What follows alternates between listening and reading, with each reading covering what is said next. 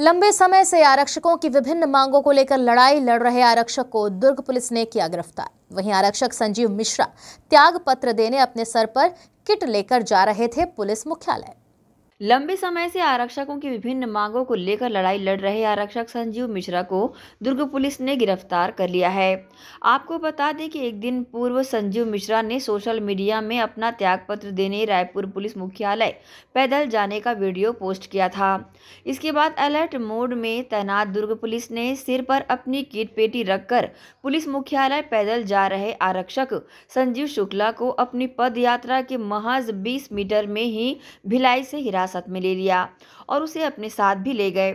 इससे पहले आरक्षक संजीव मिश्रा ने अपना गिरफ्तारी वारंट मांगा, लेकिन दुर्ग पुलिस के सामने उसकी एक भी न चली और पद यात्रा शुरू करते ही उसके किट पेटी लेकर उसे दुर्ग पुलिस ने गाड़ी में बैठाया और अपने साथ ले गई। इस मामले में एडिशनल एसपी संजय ध्रुव ने बताया कि आरक्षक संजीव मिश्रा के खिलाफ बीजापुर थाने में मामला दर्ज है। और उसके खिलाफ गिरफ्तारी वारंट भी है। बीजापुर पुलिस ने उनसे सहयोग मांगा था और आज भिलाई उसके आने की खबर लगते ही पुलिस ने उसे अपने हिरासत में ले लिया। इस संबंध में गिरफ़्तार आरक्षक और एडिशनल एसपी ने मीडिया के समक्ष अपनी प्रतिक्रिया दी। देखिए, उसकी क्या मांगे हैं, जो भी मांगे हैं, वो अपने सही जो मंच है, वहाँ पर जाके अपनी बातें रख सकता है।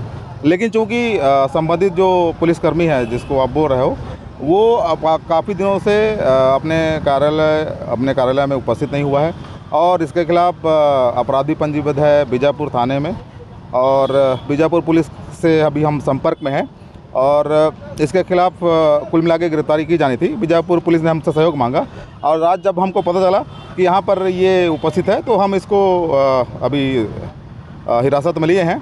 और बीजा पुलिस से कोऑर्डिनेट करके उनको आवश्यक वैधानिक कार्रवाई तो अग्रिम कार्रवाई तो दे देंगे। उसको पता है उसके खिलाफ अपराध पंजीबद्ध है और वो भगोड़ा है मतलब फरार है।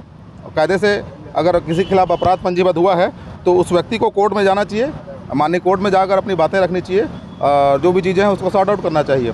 और चूँकि उसके खिलाफ अपराध पंजीबद्ध है और हमने अपना वैधानिक काम पूरा किया, अपना ड्यूटी का निर्वहन किया है। आज एक साल गुजर गया इस कमेटी ने लिखा है कि कार्रवाई प्रक्रिया अधीन है।